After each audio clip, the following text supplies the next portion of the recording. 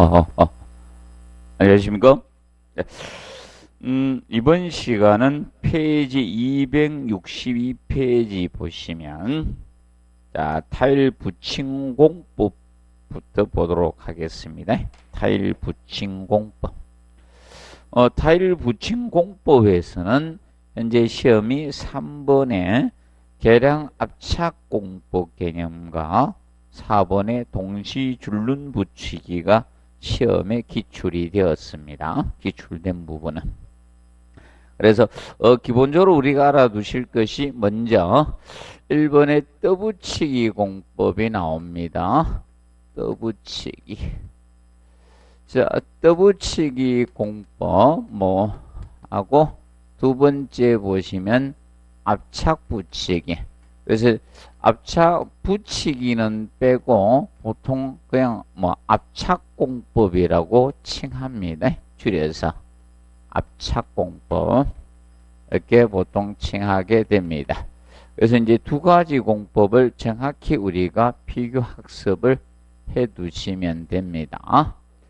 차이점은 무엇인가 하면 떠붙이기 공법은 자, 어, 이 붙임용 모르타르를 타일 뒷면에다가 부착하는 겁니다.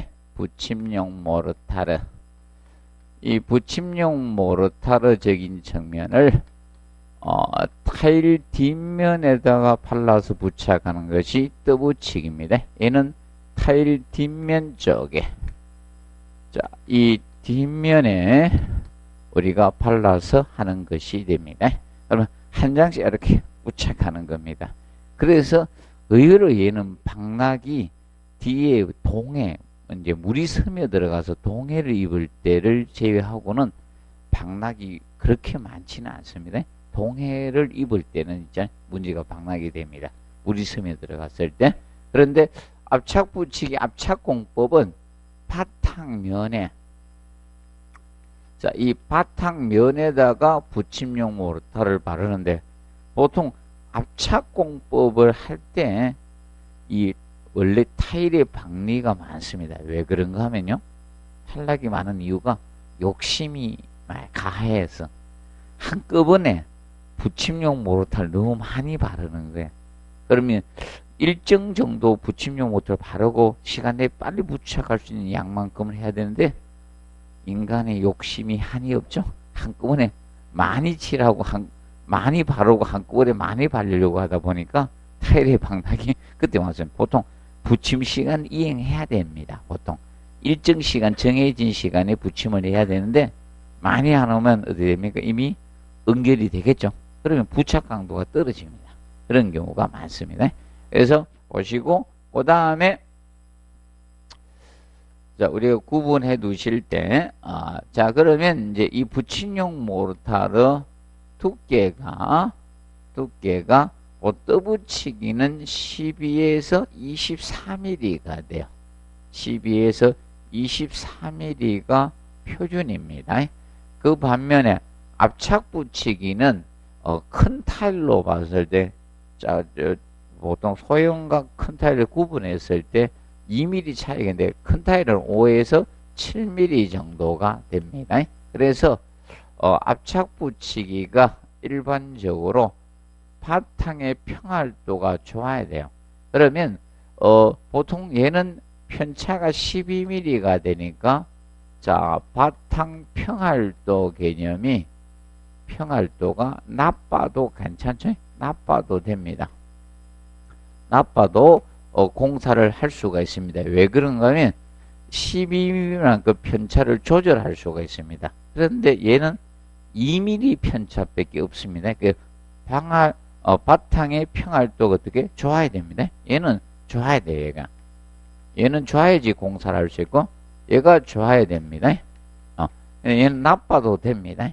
그래서 일반적으로 평활도가 얘가 좋아야지 공사를 할 수 있다라고 보시면 되겠습니다.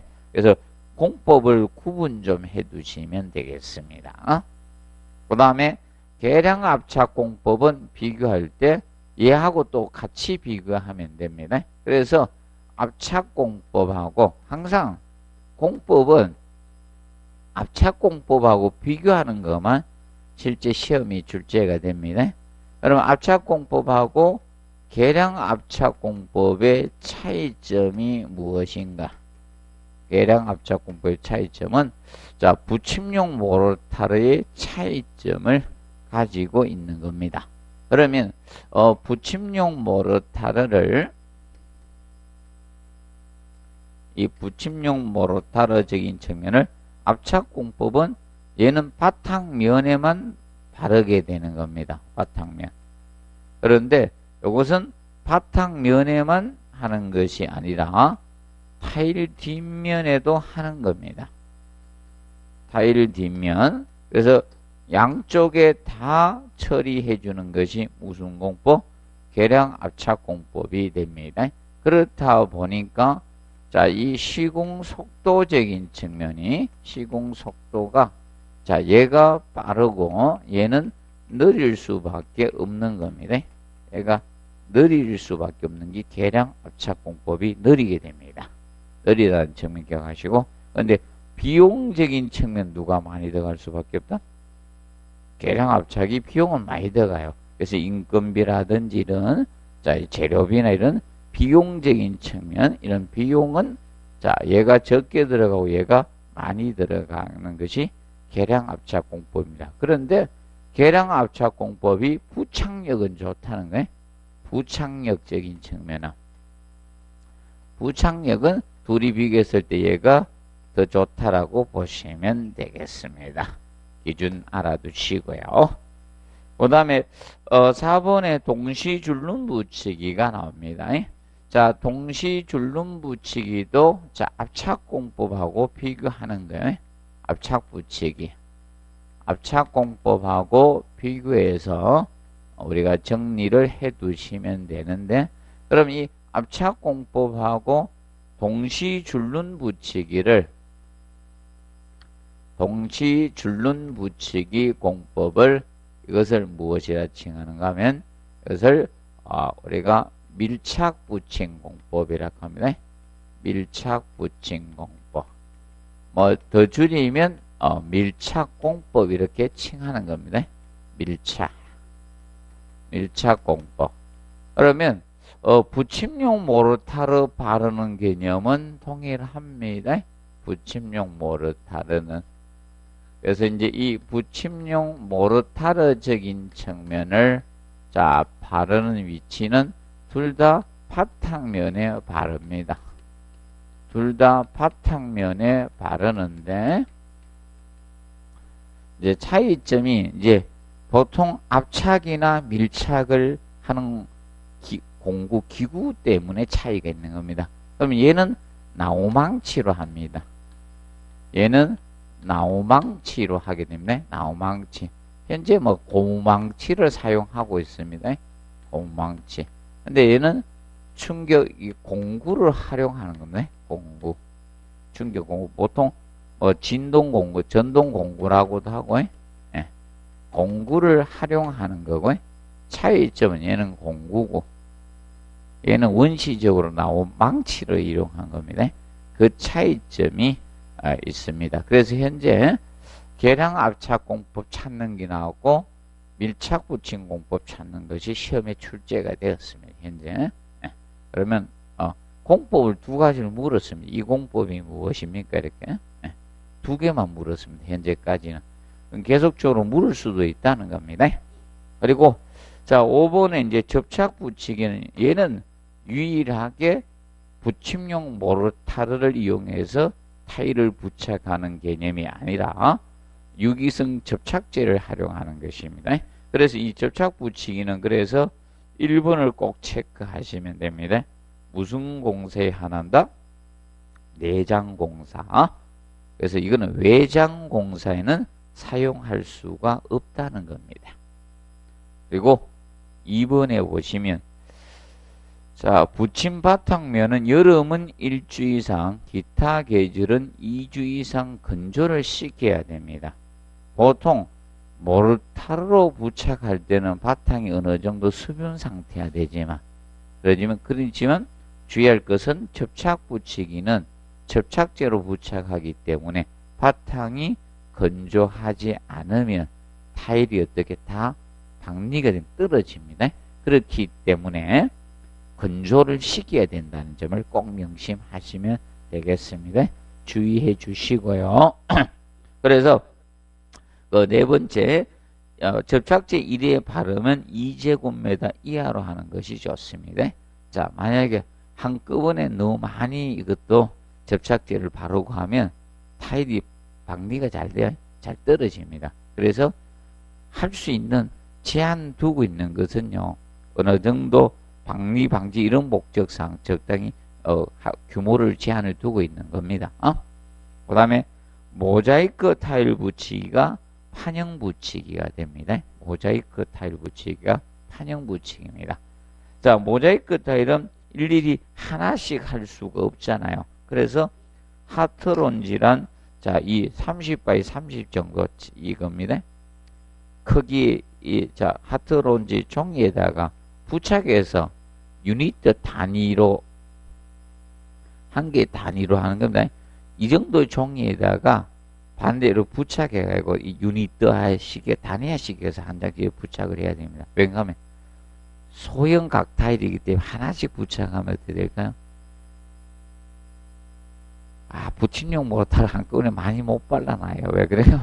하나씩 부착하다 보면 많이 발라놓으면 다 굳어버립니다. 그래서 안 되기 때문에 얘는 유니트 단위화 시켜 가지고 이렇게 부착을 하게 되는 겁니다.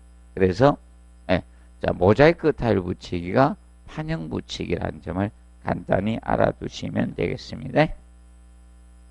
그리고 MCR 공법 있죠? MCR 공법은 자, 그 부, 이건 타일 선부착 공법이라고도 하는데 자, 그 부집에 전용 시트를 부착해 놓고 미리 저겁니다. 타일을 부착을 한다는 거예요. 그리고 나서 콘크리트를 부어 넣으면요. 자, 이렇게 되는 겁니까? 타일을 미리 설치해 놨기 때문에 타일의 뒤쪽은 뭐가 있어요? 굽이 이렇게 있잖아요. 맞죠? 이렇게 타일을 그 부재 미리 설치 거꾸로 해 놓으면 어떻게 됩니까? 콘크리트 부어 놓으면 콘크리트 들어가면서 요철이 생길 거 아닙니까? 맞죠? 그러면 자 요철이 생 콘크리트하고 부착을 하는 겁니다. 얘는 별도로 MCR 공법의 경우는 그래서 요철 부위에서 이제 모르타라리 콘크리트 들어, 파고 들어가도 하는 형태가 됩니다. 그렇기 때문에 박리체까지 박리를 방지하는 공법입니다. 그러니까 가장 부착력이 좋은 공법이 무슨 공법이다? MCR 공법입니다. 그래서 알아두시면 됩니다. 자, 그리고 넘겨보시면 264페이지 보시면 공뼈벌 타일 크기의 바람 두께 개념이 나옵니다. 그래서 여기에서 이제 우리가 정리하실 거는 자 이겁니다. 외장 공법과 내장 공법. 외장과 내장 공법의 타일 자 공법을 정리를 하시고 자 공통 항목이 있고 자 다른 것이 죠 공통 항목은 이겁니다. 떠붙이기 공법하고 뭐가 있다? 판형 붙이기죠. 두 가지는 공통이에요. 외장에도 사용할 수 있고 내장 공법에도 사용할 수가 있다는 겁니다. 그런데 압착 붙이기나 계량 압착 붙이기나 동시 줄눈 붙이기는 어디에만 쓴다? 외장 공법에만 쓰는 공법이고 그 다음에 내장 공법에는 납장 붙이기하고 뭐가 있다? 접착 붙이기가 있죠. 구분을 하시면 됩니다. 그래서 외장 공사하고 그 표입니다. 외장과 내장 264페이지죠? 264페이지 외장과 내장 공법을 구분해 두십시오. 다섯 개. 그 공통이 두 가지죠. 떠붙이기하고 뭐하고? 자, 판형 붙이기. 떠붙이기하고 판형 붙이기는 외장과 내장을 동시에 사용할 수 있는 공법적인 측면이 됩니다. 그런데 압착 붙이기나 계량 압착 붙이기, 아, 동시 줄눈 붙이기는 외장에 사용하는 공법입니다. 그리고 낫장 붙이기하고 접착 붙이기는 내장 공사에만 사용하는 공법입니다. 그것을 구분해 두시면서 우측에 붙임용 모르타르 두께 가장 두꺼운 자 저거 떠붙이기만 기억하시면 돼. 떠붙이기는 12에서 23mm로 가장 무엇이 두껍다? 붙임용 모르타 두께가 두껍다는 점을 기억을 해 두시면 됩니다. 그리고 모르타르의 편차가 크면 표준 편차가 크면 바탕의 평활도가 낮아도 된다는 겁니다. 그런데 뒤에 모르타르 두께 편차가 적게 되면 바탕의 평활도가 좋아야 된다는 뜻입니다. 그래서 어, 떠붙이기는 12에서 23mm가 되니까 표준 편차가 12mm 편차가 날 수가 있다는 건데 그만큼 조절이 가능하다는 겁니다. 그 점을 우리가 알아두시고 그 다음에 264페이지 하단에 시공적인 측면에서 봤을 때 타일 붙이기 일반 사항에서 보시면 될 수 있으면 온장 사용을 하도록 나누기를 해서 부착하라는 겁니다. 그래서 타일을 잘 부착하는 사람하고 부착 공사를 잘 못하는 사람의 차이점이 이거예요. 타일을 잘 못하는 사람들은 나중에 조각이 많이 나요. 근데 잘하는 사람들은 어떻게? 나누어 놓고 줄눈으로 조절하면서 부착을 들어가는 거예요. 그래서 여러분들도 공부 학습을 어떻게 하셔야 된다? 과목을 어떻게? 시험 공부할 과목을 시간 배분을 딱 하고 돌려야 되죠. 그렇게 해주시면 됩니다. 그리고 그점 봐두시고 그 다음에 이제 거기 보시면 3번에 벽체 타일이 시공되는 경우 당연히 뭐부터 먼저 보죠. 벽체 타일 부착하고 바닥 타일을 시공을 해주시면 됩니다. 그리고 기, 기준 알아두시고 그 다음에 음, 거기 보시면 저거 체크하시고 자 치장줄로는 계속 공부하십시오. 치장줄로는 출제가 되었지만 계속 공부하십시오. 그래서 앞전에도 종합문제 지문 나왔어요. 계속 공부하십시오. 그러면 타일을 붙이고 몇 시간 경과 후 3시간 경과 후 줄눈 파기를 해야 돼요. 줄눈 파기를 하고 그리고 어, 거기 이제 24시간 경과된 후 모로타리 경화 정도를 봐서 치장줄눈 공사는 들어간다는 겁니다. 치장줄눈 공사는 24시간 경과한 뒤에 모로타를 경화 정도를 보아서 우리가 치장줄눈 공사를 들어간다는 겁니다. 그리고 8번에 바탕 만들기가 나오는데 자 바탕 만들기는 자 한꺼번에 하지 말아라 이거예요. 나누어서 하라 이겁니다. 그래서 기억해 보시면 어떻게 이해로 나누어서 바르라 이거예요. 한꺼번에 바탕을 바르는 것이 아니라 뭐다? 이해로 나누어서 발라주시고 그리고 그때 디귿 체크 하시면 됩니다. 여름처럼 며칠 3, 4일 이상이 되고 어, 봄, 가을의 경우는 일주 이상 기간을 두고 나서 공사를 하라는 겁니다. 자 그런데 여기는 건조란 지문이 안 나오죠. 맞아요? 건조식이라는 지문 개념이 안 나옵니다. 그런데 아까 접착 붙이기 공법에서는 일주 이상, 여름철은 일주 이상, 기타 계절은 2주 이상 바탕을 건조식이라 했습니다. 그런데 이 보통 이 공법은 붙임용 모르타를 만들 때 그래서 263페이지죠. 접착 붙이기에 2번하고 헷갈리면 안 됩니다.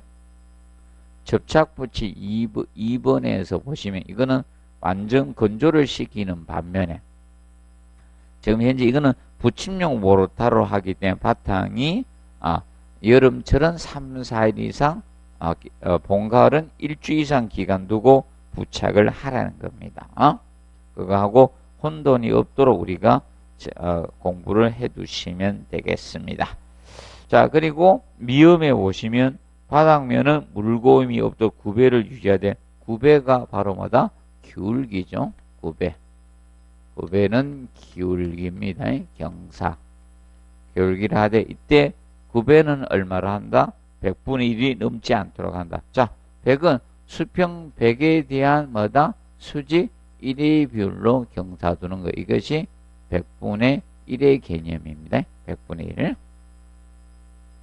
그리고 바탕 물측이 및 청소적인 측면에 대해서 보시면 자, 뭐 니은에 타일을 붙이기 전에 불순물을 완전히 제거하고 청소는 당연히 해 주셔야 되겠죠. 그리고 자, 디귿 체크하시면 되죠. 여름에 외장 타일 붙일 경우입니다. 그러면 시기는 여름철이고 무슨 타일? 외장 타일 붙일 때 하루 전에 바탕면이 충분히 적셔 주시면 됩니다. 자 그러면 내장 타일은 관계가 없어요? 무슨 타일? 외장 타일. 자 태양열에 의해서 외벽이 어떻게 건조가 되죠. 그래서 건조된 상태에서 바르면 타일 붙임용 모르타르의 수분을 갖다 벽면에 어떻게 흡수하기 때문에 미리 물을 죽여 주라 물죽임을 하라는 겁니다. 그래서 요거 가지고 디귿 가지고 한번 출제가 되었었습니다. 예. 그래서 명심하십시오. 무조건 타일에 물죽임을 하는 건 아니고 어느 때만 여름철이고 외장 타일입니다. 그러면 여름철이 아닐 때는 물축일 필요가 없다는 겁니다. 그래서 기본적으로 여름은 3, 4일 맞죠? 봄, 가을은 일주 이상 된 다음에 바로 공사하면 되지만 여름철의 경우는 태양열에 의해서 외벽이 외벽 부분이 건조가 될 수 있기 때문에 하루 전에 물 축여 주라 이 뜻입니다. 그러면 내장 타일의 경우는 벽면에다 물 축일 필요가 있다 없다? 없습니다. 자, 그 측면을 우리가 알아두시기 바랍니다. 자, 그리고 넘, 넘겨가십시오. 그래서 이제 11번에 타일은, 타일 붙이면 타일의 백화나 탈락, 동결 융에 대한 결함 사항에 대해서 충분히 검토를 해 주셔야 됩니다. 그래서 자, 보통 백화 현상은 이 경우에 많이 생깁니다. 줄눈 사춤을 충분히 잘 해줘야 되는데, 자, 우리가 치장 줄눈 공사하죠. 자, 줄눈 파기를 하랬겠죠. 몇 시간 경과 후에? 3시간 경과 후 줄눈 파기를 하고, 24시간 경과 후에, 자, 뭐다? 아, 치장 줄눈을 하는데, 이때 치장 줄눈 공사를 잘 해줘야 돼요. 그래야지 빗물이 잘 침투가 안 됩니다. 보통 빗물이 침투되게 되면 나중에 뭐가 생긴다? 백화 현상이 생길 수가 있는 겁니다. 자, 그래서 간단히 알아두시기 바랍니다. 그리고 네, 타일의 동해 방지 개념 나오죠. 자, 동해 방지를 하기 위해서는 소성 온도가 뭐다? 높은 타일을 써주시는 게 좋습니다. 그리고 흡수율은 낮아야 돼요. 그러면 결과적으로 1번, 2번에서 의미하는 것은 이 타일은 안 된다는 거예요. 독이질은. 자, 독이질 타일은 어, 사용해서는 안 된다는 뜻입니다. 독이질은. 독이질 타일은 흡수율이 크기 때문에 독이질 타일을 사용해서는 안 된다. 이 점을 꼭 기억해 두시고 그 다음에 어, 줄눈 누름을 충분히 해서 우수 침투를 방지하도록 해 주셔야 됩니다. 어? 그리고 모르타르의 단위 수량을 최대한 어떻게 적게 해야 됩니다. 왜 그런가 하면 여러분들이 모르타르에 물을 많이 넣게 되면 건조 수축에 의해서 뭐가 생긴다? 균열이 발생할 수 있다는 겁니다. 건조 수축. 그래서 건조 수축 균열이 생길 수 있기 때문에 단위 수량을 최대한 적게 해주시면 됩니다. 그리고 바탕면과 5번 바탕면과 접착 모드의 접착성을 좋게 해줘서 동해를 방지하도록 해주시면 됩니다. 그리고 자 타일 탈락원인 보시면 1번 체크하셔 붙임 모르타의 접착 강도 부족이죠.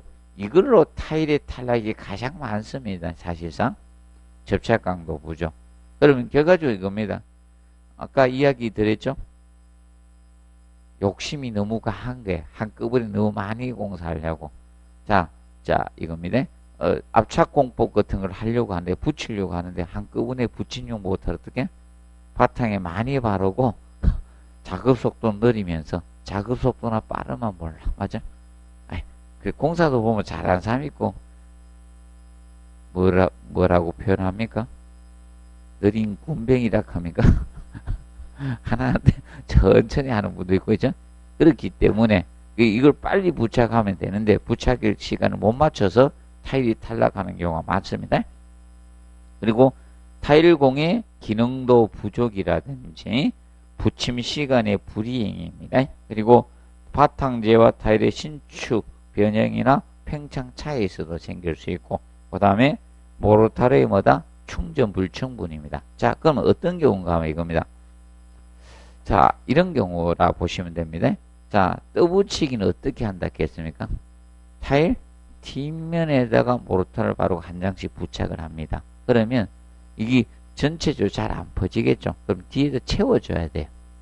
그럼 사춤을 넣, 채워줘야 되는데 그걸 못 그라우트를 해줘야 돼. 근데 그게 충분히 안 되면 타일이 탈락될 수 있다 이겁니다. 맞죠? 그 다음에 어, 거기보다는 모르타리 그래서 충전 불충분입니다. 그리고 붙임 후 보양이나 양생 불량으로 생길 수가 있습니다. 그리고 넘겨봅니다. 269페이지 창호 및 유리공사적인 측면을 보면 창호에서 자 기능에 의한 분류 보시면 기능이란 것은 개폐 방법을 의미합니다. 자,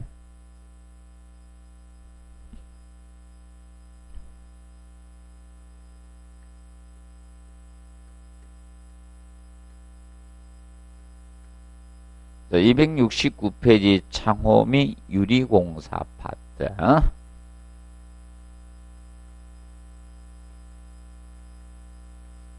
창호 및 유리공사.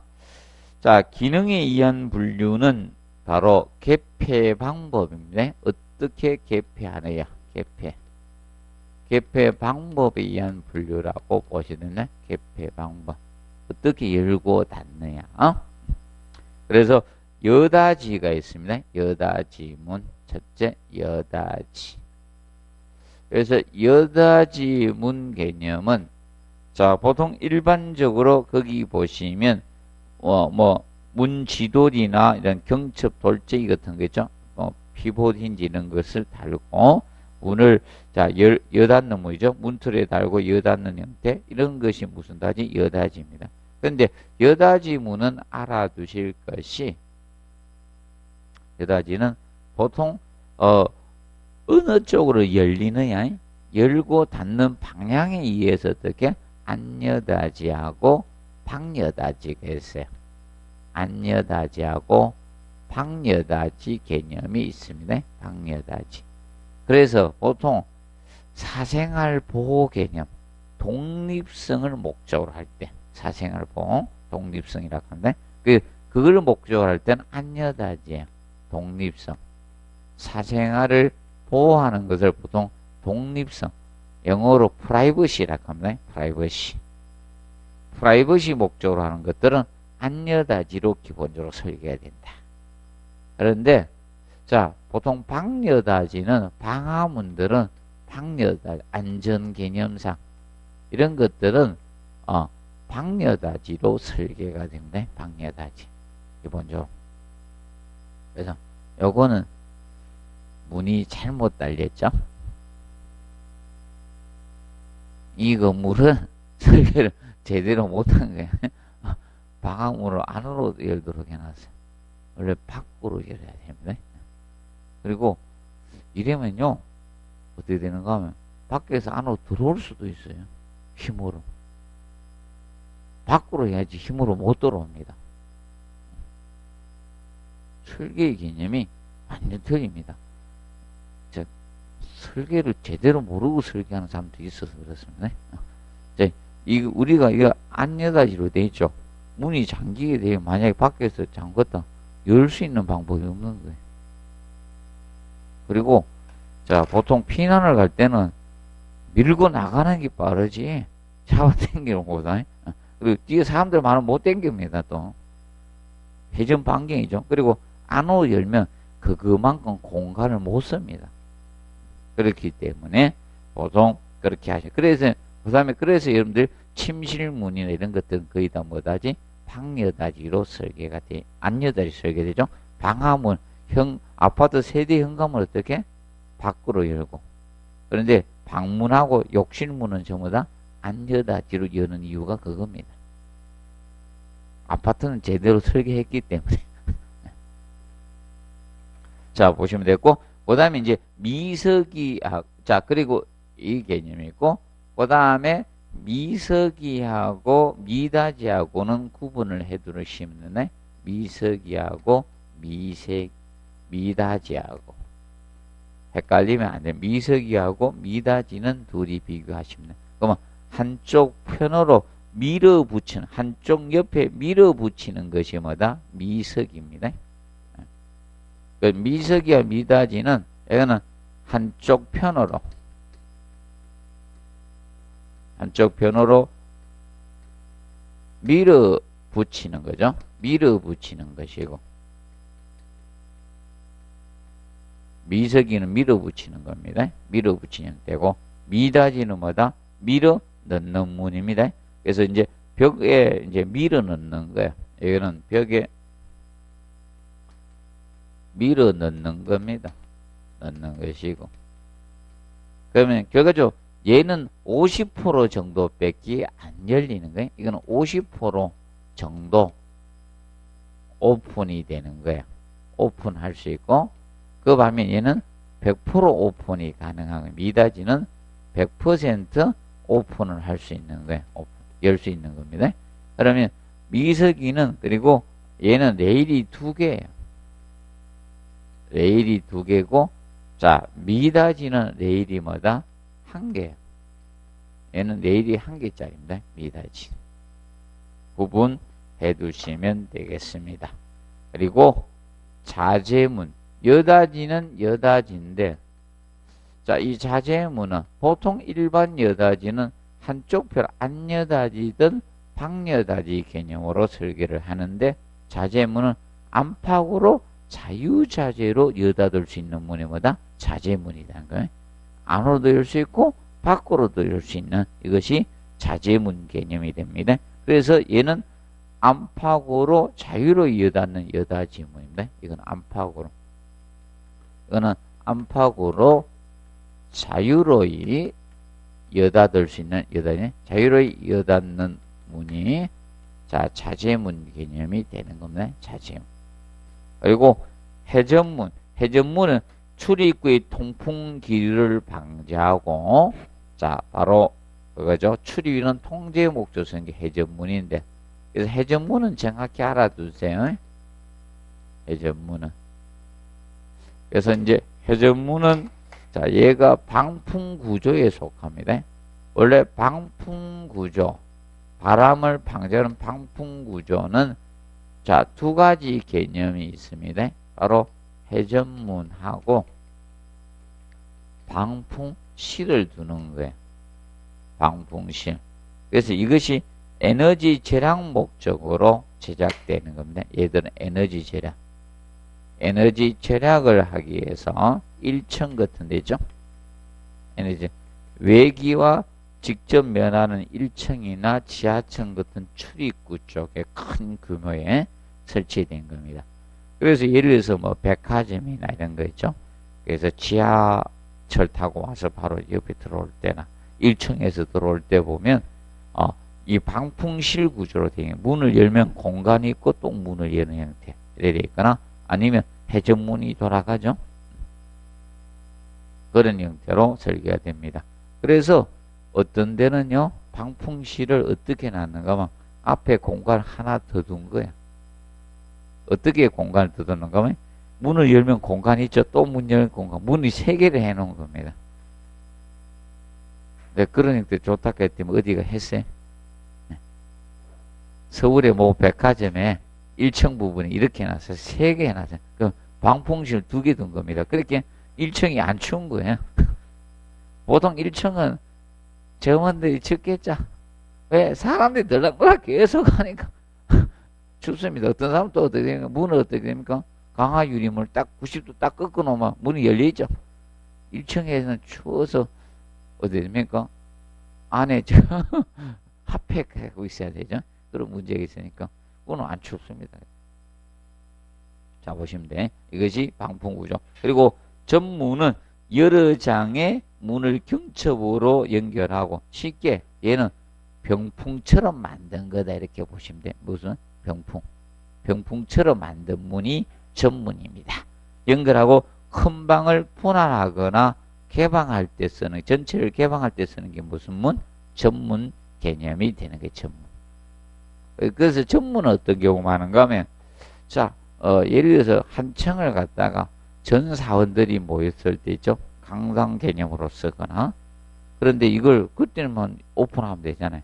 그럼 평상시는 어떻게 소규모 실을 나누어서 있죠? 쓸 때, 이럴 때 쓰는 것이 바로 전문 개념이 됩니다.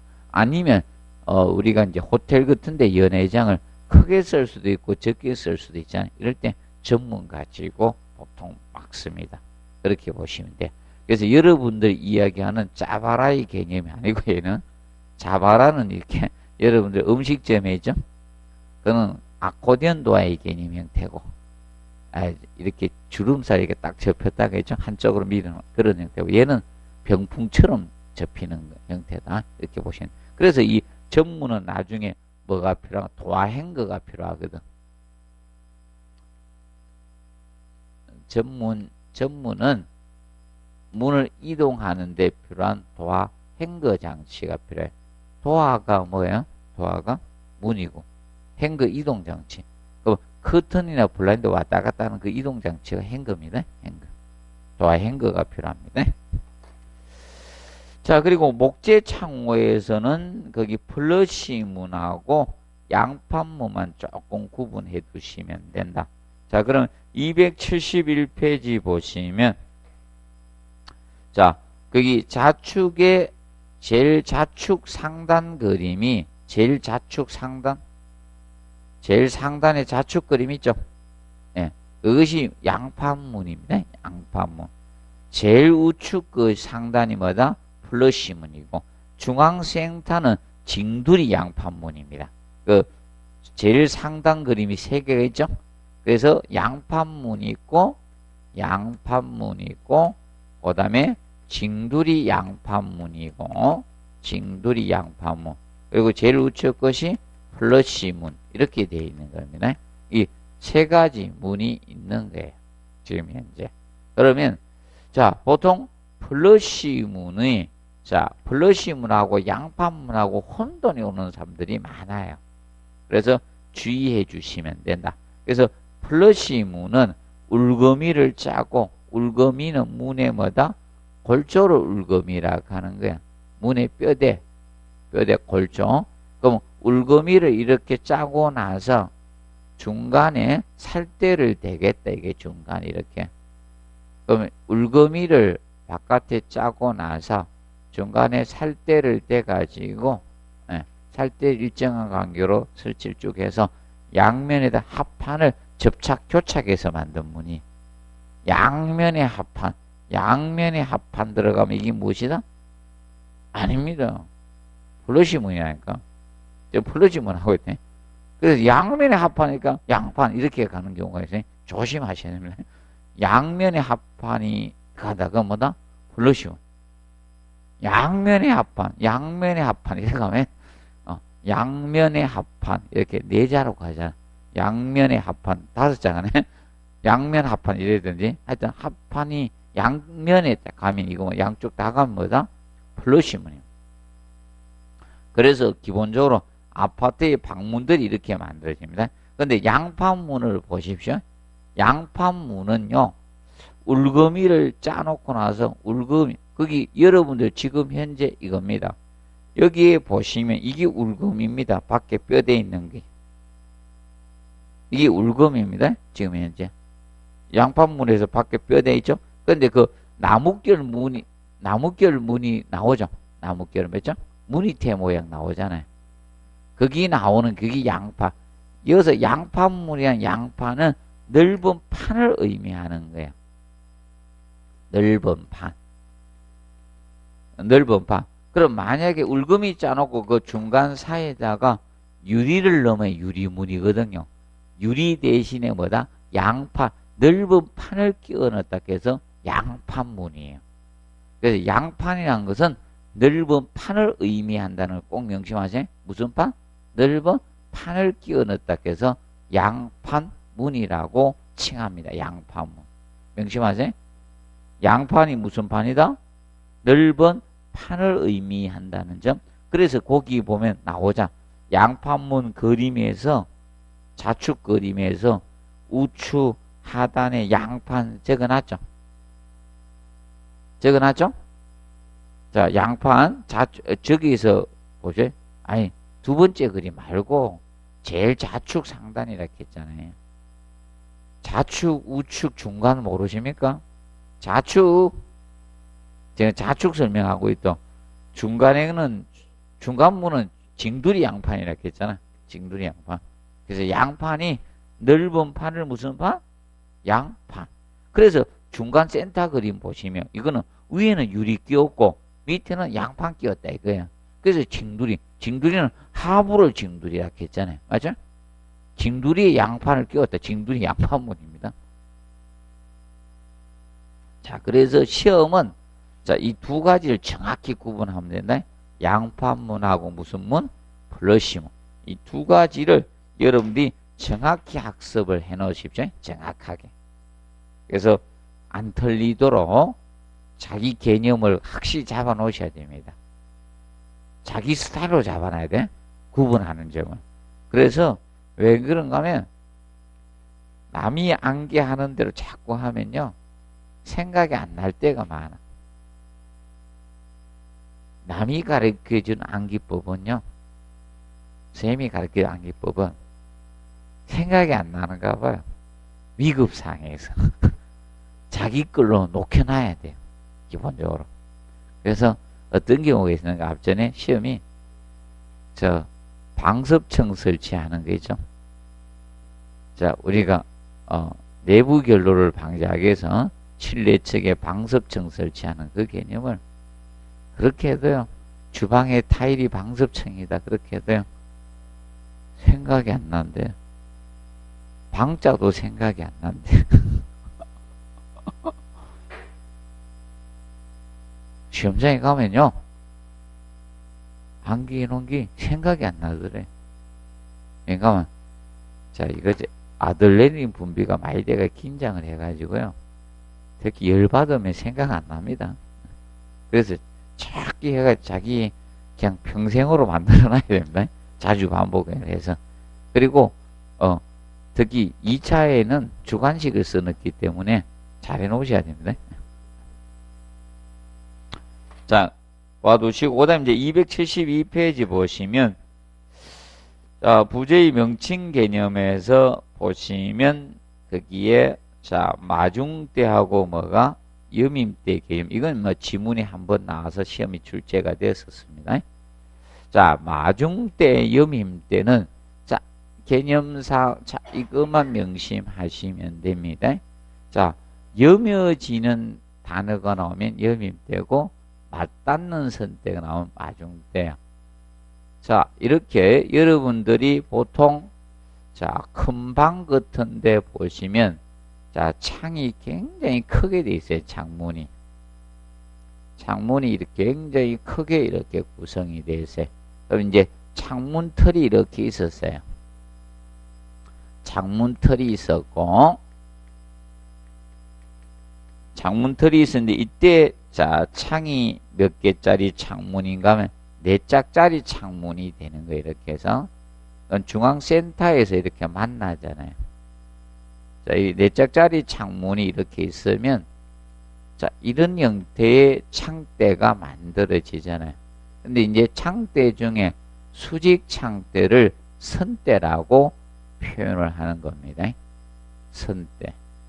그러면 지금 현재 이렇게 이제 구성이 되고 이 뒤쪽 뒤쪽에 창문이 이렇게 돼. 이건 전면이 거고 뒤쪽에는 레일이 틀리잖아요. 그러면 이렇게 돼 가지고 자 이렇게 될 거 아닙니까? 그러면 이제 두 개를 갖다가 옛날에 여기 이제 항동 도화 볼트 가지고 이렇게 돌려서 구멍 맞춰 끼웠잖아요. 국민학교 국민학교 창문 보면 얘네 맞아? 이렇게 도화 볼트 맞아? 볼트가 아니고 돌려서 끼웠죠. 그러면 이렇게 되는데 문이 이렇게 열리잖아요. 이, 이 방향으로 이렇게 열리잖아요. 이쪽으로 두 개를 이쪽으로 싹 열었잖아요. 간혹가다 이거 제대로 안 해놔가지고 바람 새들어 오고 막 그러면 지금 현재 얘, 얘들 둘이는 서로 맞닿았잖아요. 맞닿는 선대를 무슨 때? 마중대. 간단히 이것만 기억, 맞닿는 선대. 이것만 기억하면 되네. 마중대는 뭐다? 맞닿는 선대 되게? 마중대는. 서로 맞닿는 선대. 이것만 기억하네. 서로 맞닿는 선대가 무엇이다? 마중대. 그런데 이거는 지금 현재 레일이 자 이쪽 창문하고 뒤에 레일이 다르기 때문에 선대가 맞닿을 수는 없다. 염해지죠? 그래서 이걸 무슨 때라 한다? 염임대. 이거는 염임대라고 칭하는 거예요. 염임대. 염여지는 선대를 염임대. 그러면 얘는 명심하세요. 뭐 해야 된다? 염여지는 단어가 들어가면 된다. 뭐 된다? 염여지는 단어가 들어가면 염임대. 맞닿는 나오마다 맞, 음, 마중대가 되는 겁니다. 그래서 넘겨보시면 페이지 274페이지에 용, 거기 보면 풍소란 그림이 나옵니다. 풍소란.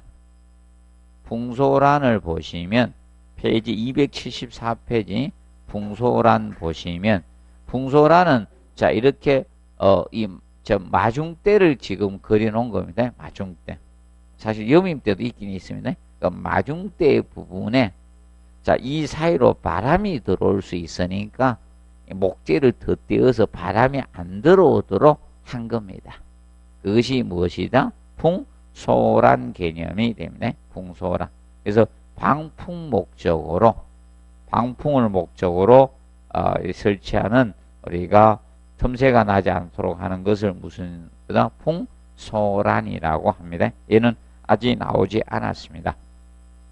그리고 방화문을 보시면 방화문은 어, 갑종과 을종 방화문에서 보시면 비차열 성능 시간이 자 보통 갑종은 1시간 이상이고 차열이 어, 우리가 발코니에서 설치하는 대피 공간의 갑종 방문 있죠?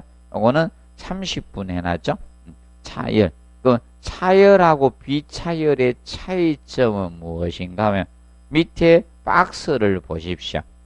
방화문을 갑종 자, 이 비, 비차열과 차열을 시험을 하는데 네 가지 시험을 하게 된다.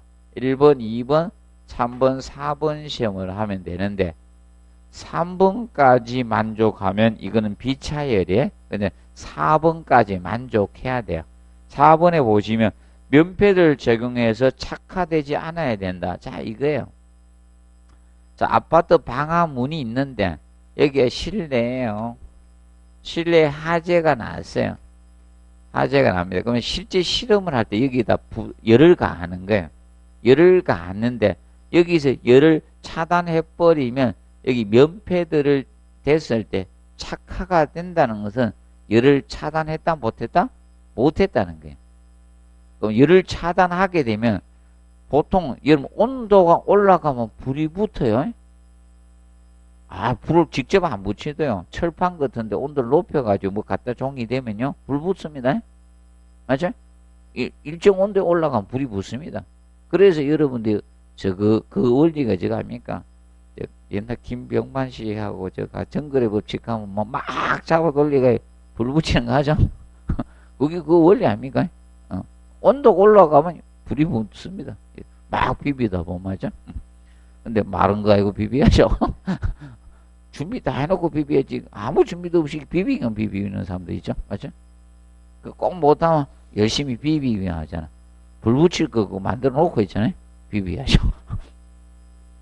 불만 붙이고 또 뗄 거 없, 뗄 건 갖다 놓고 붙여야 되네. 그래서 여러분들 이겁니다. 여기입니다. 그러면, 그러면 여기에 뭐가 됩니까? 열을 차단하는 재료를 써줘야지만 어떻게 됩니까? 차, 차열이 될 수 있는 거 아닙니까? 그래서 보통 아파트가 왜 요거만 해놨는가 하면 대피 공간에 갑장 방화문만 해당한다 해놨는데 이미 아파트 세대 현관문 있죠? 현관문이 80%가 다 가짜예요.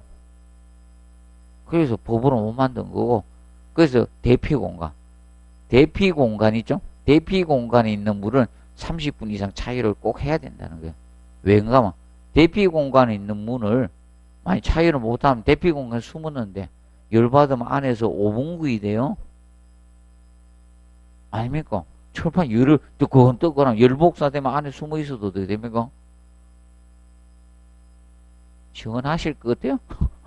어, 5분구이 된다니까요. 그래서 자, 그 대피 공간의 방화문은 뭐다? 차유를 해야 된다는 거예요.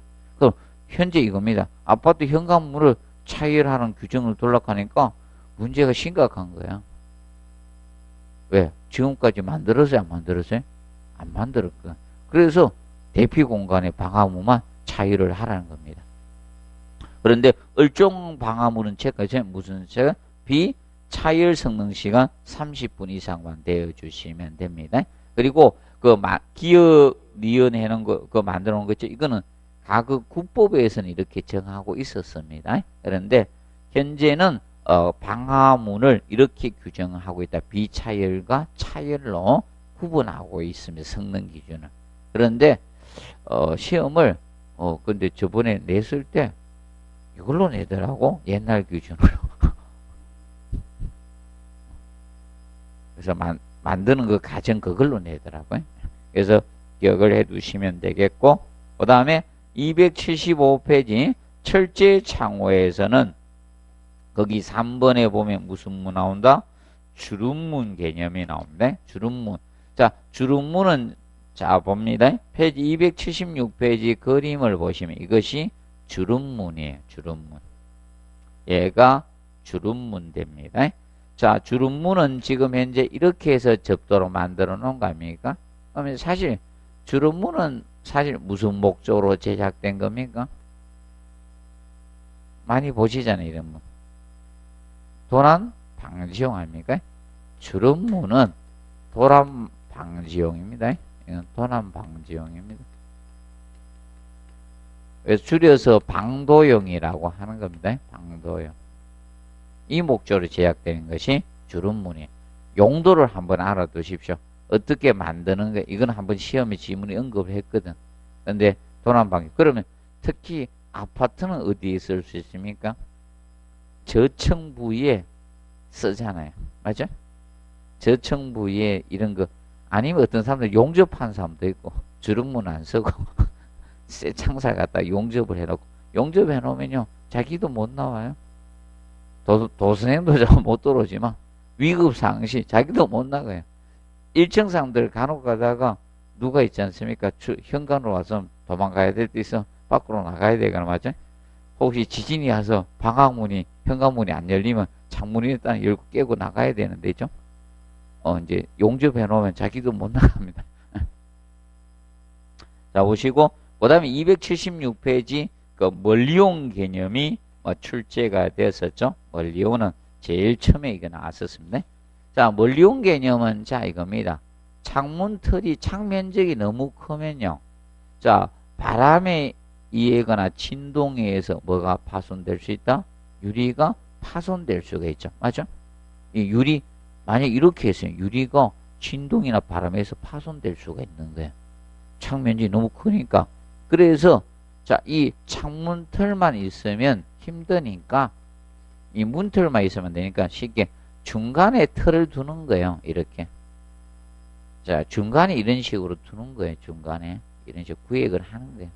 그래서 여러분들 이런 데 보면 쪼맣하게 창문 만들어 놓고 그랬잖아요. 맞죠? 공기 한계하라고. 그럼 이건 보통 픽스로 두고 이렇게 해놨잖아요. 그러면 이 중간에 이건 이제 중공형으로 접어가 가로 세로 해가지고 중간에 이걸 대어주는 거 이것은 뭐다? 멀리온이다. 그래서 그 책까지 창의 창면지 클 때 창의 보강이 주된 목적입니다. 창의 보강. 그 창의 보강이라는 것이 창의 보강 개념이 유리 파손 방지입니다. 유리 유리를 유리 파손 어, 방지 개념상 우리가 하고 있다라고 보시면 되겠습니다. 정리해 놓으시고 그 다음에 알루미늄 창호가 나오고 있습니다. 알루미늄 창호. 자, 알루미늄 창호는 혼자 많이 냈어요. 그래서 이제 나오면 종합 문제의 지문 정도 언급이 된다. 이렇게 보시면 돼요. 그래서 계속 지문을 언급하고 있는 거예요. 알루미늄. 자, 알루미늄이 자, 스틸보다는 스틸보다는 가볍고 괜찮죠. 맞죠? 그런데 요새는 자, 요새는 목적이 에너지 저장 목적이잖아요. 맞죠? 네. 그래서 지금 현재 보시면 집이 어, 에너지를 얼마 절약하느냐에 따라서 차이죠. 그래서 에너지를 많이 절약하는 사람들은 뭐 저 난방비가 뭐 7만 원 이런 밖에 겨울에 안 들어갑니다. 좀 잘하는 사람들 한 10, 거의 7만 원, 10만 원 정도밖에 안 들어가요. 좀 안 되는 분들은 난방비가 얼마 들어갑니까? 30, 막 51이 들어가대. 어디 TV도 나는데 보니까. 그래서 자, 이 알루미늄 창호는 사실 어, 얘는 단점을 잘 기억하시면 돼요. 알루미늄 창호는 알루미늄 창호는 어, 단점적인 측면을 잘 기억하시면 됩니다. 단점. 그래서 그 단점에서 2번 책하고 콘크리트, 모르타르, 해반죽의 알카리성과 접하면 뭐 됩니까? 부식당합니다. 그래서 어, 보통 중성제나 격리제를 이용해서 공사를 해 주셔야 됩니다. 그렇기 때문에 콘크리트하고 접한 알카리성 바탕의 공사는 까다롭다는 거죠. 알카리성 바탕에 자 공사할 때는 직접 공사만 돼. 공사는 어, 까다롭다는 겁니다.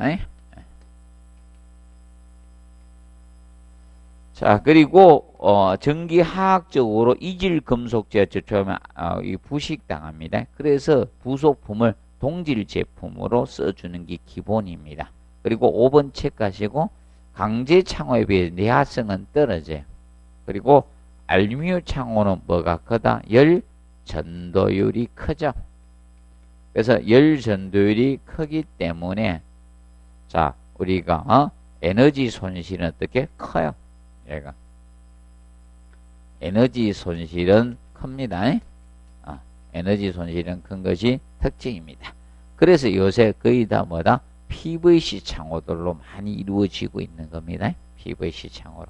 그래서 한동안 80년도 있죠? 90년도까지는 알루미늄 창호가 유행했었어요. 90년도까지. 지어진 아파트에 다 알루미늄이었습니다. 맞죠? 아, 설계를 그렇게 했습니다. 설계하는 사람들이. 알루미늄 창호 이렇게. 그래서 이제 돈 주고 뭐다?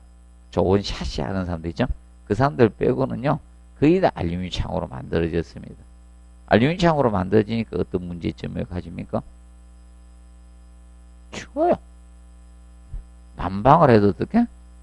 열 손실이 크니까 춥습니다. 많이 추워요. 그렇게 보시면 됩니다. 자, 그리고 넘겨서 278페이지 특수문부터는 잠깐 휴식하고 하도록 하겠습니다. 그리고 크리스마스 날